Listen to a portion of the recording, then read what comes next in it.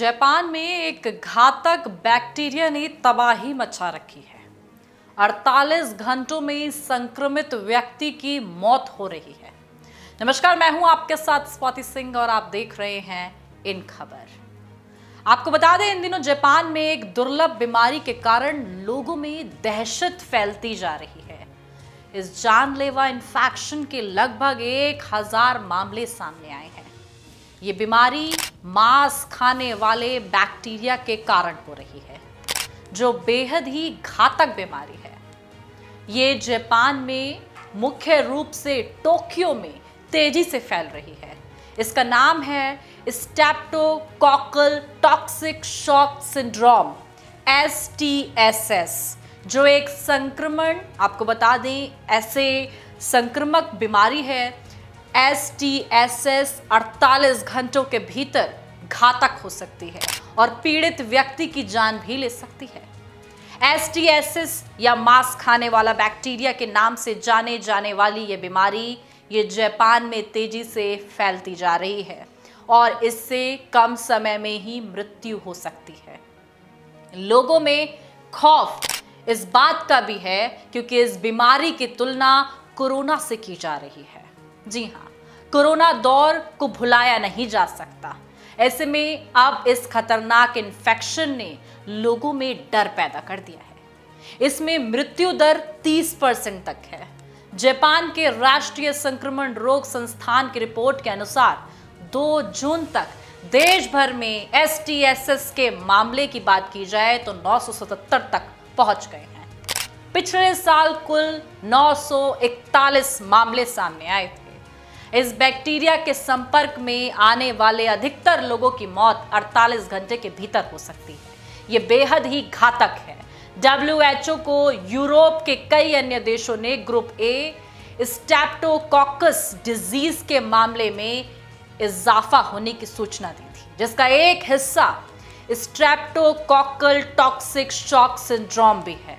WHO के अनुसार corona के कारण लगाए गए प्रतिबंध को हटाने के बाद से ही इसके मामलों में बढ़ोतरी देखी गई। बताया जा रहा है कि जनवरी और मार्च के बीच संक्रमण से लगभग 77 लोगों की मौत हो चुकी है। पिछले साल इस संक्रमण से सत्तानवे मौतें हुई थी।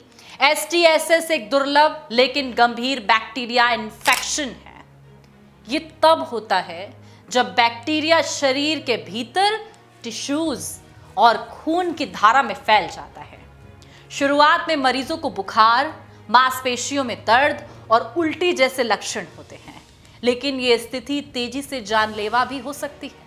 इसमें मरीज़ को लो ब्लड प्रेशर शरीर में सूजन और कई अंगों का काम करना बंद कर देना जैसे लक्षण सामने आए हैं। सीडीसी के अनुसार बात की जाए तो S T S S group A streptococcus bacteria के कारण होने वाली ये एक बीमारी है। ये तब होती है जब ये बैक्टीरिया शरीर में भीतर टिश्यूज और ब्लड में घुस जाते हैं और एक विषयक पदार्थ छोड़ देते हैं। इससे बॉडी घातक रिएक्शन कर देती है। हालाँकि इससे पीड़ित व्यक्ति से किसी दूसरे व्यक्ति में संक्रमण फैलने की संभावना कम होती है। एस की शुरुआत में अगर बात की जाए तो इसके लक्षणों की, बुखार, ठंड लगना, मांसपेशियों में दर्द, मिचली और उल्टी जैसे लक्षण नज़र आते हैं।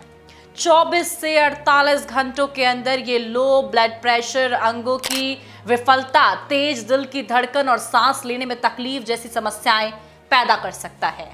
कितना जानलेवा है ये एस टी एस एस आपको बता दें ग्रुप ए स्ट्रोप्टोकॉकस यानी कि आमतौर पर बच्चों में ये बैक्टीरिया स्टेप थ्रॉट के कारण बनता है।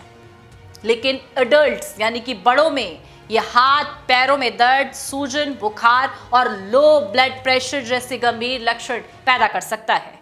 ये स्थिति तेज़ी से बिगड़कर मौत का कारण बन सकती है, खासकर 50 साल से अधिक उम्र के लोगों में। इन गंभीर लक्षणों के इलाज और जटिलताओं को रोकने के लिए जल्द से जल्द आपको डॉक्टर से सलाह लेने की बहुत ज़रूरत है। मांस खाने वाले बैक्टीरिया से रोकथाम साफ़ सफ़ाई बनाए रखे।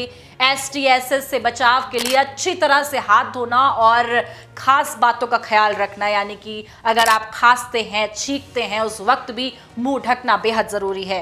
अच्छी आदतों का पालन करना बेहद ज़रूरी है। घावों को की जो देखभाल होती है, जो आपके घाव हो जाते हैं, वो नहीं भरते हैं तो उनकी देखभाल करना भी बहुत ज़रूरी है। किसी भी घाव को साफ़ रखें, जो भी घाव आपके किसी भी शरीर पर है, उसे साफ़ रखना और संक्रमण के किसी भी लक्षण दिखने पर डॉक्टर से सलाह लेना। इससे बैक्टीरिया को शरीर में फैलने और एस टी एस एस का कारण बनने से रोका जा सकता है। आपको बता दें कि अगर इसके टेस्ट की बात की जाए तो एस टी एस एस का पता लगाने के लिए कई टेस्ट किए जाते हैं, जिसमें ब्लड टेस्ट शामिल है। इस टेस्ट से ग्रुप ए स्ट्रेप्टोकॉकस बैक्टीरिया का पता लगाया जा सकता है और शरीर के अंगों के कामकाज की जाँच की जा सकती है। इसके साथ ही एसटीएसएस का इलाज एसटीएसएस का इलाज की बात की जाए तो एंटीबायोटिक दवाओं से किया जाता है, जिन्हें इन्फेक्शन के ज़रिए आपको बता दें, जिस तरीके से देखते हैं इन्फेक्शन लगातार फैल रहा है, उसको कंट्रोल करने के लिए इंजेक्शन का इस्तेमाल किया जाता है। ये दवाएँ बैक्टीरिया को ख़त्म करने में मदद करती हैं। मरीजों को, उनके ब्लड प्रेशर को सामान्य बनाए रखने और अंगों को ठीक से काम करने में मदद के लिए तरल पदार्थ भी दिए जाते हैं। गंभीर मामलों में संक्रमित, अगर बात की जाए टिश्यूज को निकालने के लिए सर्जरी की भी ज़रूरत हो सकती है। ऐसे में, जो जापान से तस्वीरें आ रही हैं, वो लोगों को हैरान कर रही हैं। एक ऐसा बैक्टीरिया जो मांस खाने वाला बैक्टीरिया है, जो आपके शरीर में घर कर ले तो आपके शरीर को जड़ से खत्म कर दे।